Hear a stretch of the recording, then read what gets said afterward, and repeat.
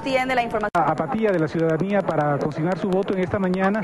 Las juntas han permanecido prácticamente vacías durante las primeras horas de esta jornada, pero ahora que ha llegado el puede ver ya una mayor afluencia de personas. El mandatario hace su ingreso, recibe el saludo de los simpatizantes que han llegado hasta este lugar y los miembros que han estado aquí en las juntas o la gente que ha venido a sufragarse ha apostado acá a los exteriores de una cadena humana que han montado las Fuerzas Armadas para facilitar el acceso del presidente de la República. Luego de consignar su voto, el presidente eh, tendrá varias actividades privadas en el Palacio de Gobierno. Se hablaba de la posibilidad de que el mandatario haga un recorrido por algunas provincias, pero esto no ha sido confirmado.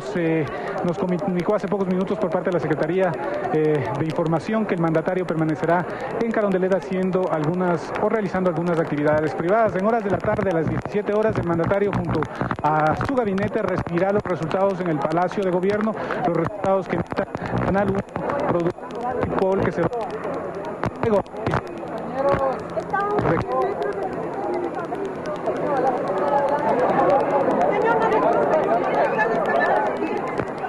con resultados y das en proceso. Eh, saludando a cuantas personas eh, le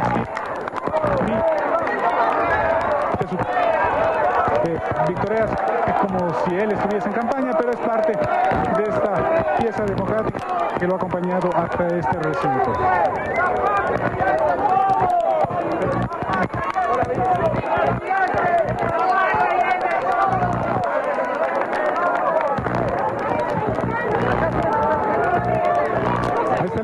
Ya muy de la Junta, fuerte operativo de actividad, gran Dame cable. En este recinto. Oye, hermano, Precisamente el mandatario se encuentra ya ahí eh, recibiendo los documentos electorales que son eh, eh, prácticamente las dos papeletas, la papeleta de candidatos nacionales y la papeleta de candidatos provinciales son personas jóvenes los que integran las juntas receptoras de votos, son estudiantes universitarios que se han preparado durante la mañana en compañía de los miembros de las Fuerzas Armadas. Recibe ya el mandatario las papeletas, seguramente eh, casi de hecho el voto del mandatario, pese a que se ha cuestionado el voto en plancha, será a favor de toda su lista, toda la lista de gobierno.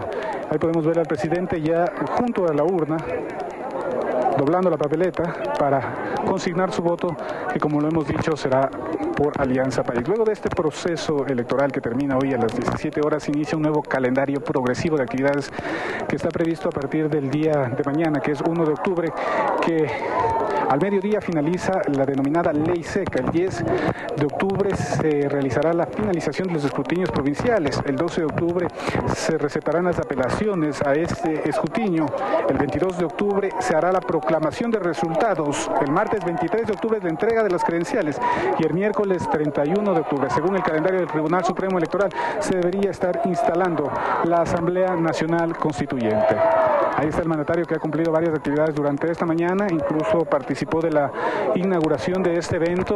Ahí dio un discurso en donde felicitó al Tribunal Supremo Electoral por la organización de este evento que ha sido catalogado como el más complejo que ha debido enfrentar nuestro país por la gran cantidad de candidatos y por nuevas incorporaciones del sistema como fue las franjas publicitarias financiadas por el Estado. Ahí está el mandatario en momentos en que vaya a depositar eh, su voto en la urna, que es el eh, referente a los candidatos eh, nacionales. Ahí está momentos precisos en que el presidente ha entregado ya su voto, ha consignado su voto, se apresta a firmar el respectivo padrón electoral y a recibir su certificado de votación. El mandatario ha sido enfático y claro en manifestar que la Asamblea Constituyente deberá tener algunos objetivos primordiales, como por ejemplo disolver al Congreso, incluso ha reiterado su posición de que presentará la renuncia a su cargo una vez que se instale la Asamblea para que sea esta la que decida su permanencia o no. También ha instado a los diferentes eh, autoridades elección y designación pública para que presenten sus renuncias a fin de que sea la Asamblea la Constituyente la que pueda definir con manera tranquila y transparente el marco institucional y elaborar la nueva constitución del país. Ahí está el mandatario, ha depositado ya su voto, como es su característica, se despide de todas las personas que están eh, junto a él. Y luego de esto el mandatario se conoce que tendrá varias actividades privadas en el Palacio de Gobierno hasta esperar los resultados eh, parciales que serán entregando a partir de las 17 horas a través de Canal 1.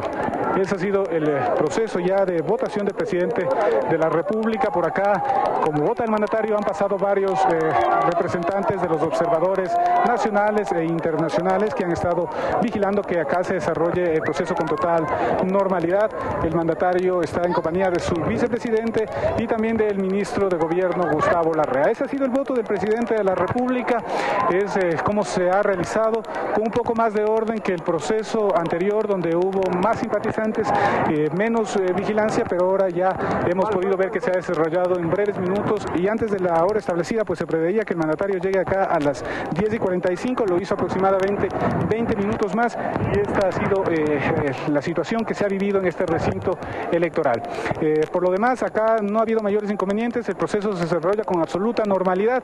Eh, lo que habíamos manifestado en un principio, la apatía de la ciudadanía al momento de llegar a estos recintos, han sido muy pocas las personas que han llegado durante esta mañana, tal vez esperando no encontrarse con este pequeño inconveniente que es la votación del presidente que siempre genera algunas molestias a la ciudadanía que viene hasta este recinto electoral. Nosotros seguimos de cerca el proceso electoral, cuando la información lo amerita volvemos a conectarnos con ustedes desde acá, desde el Colegio Central Técnico. Mientras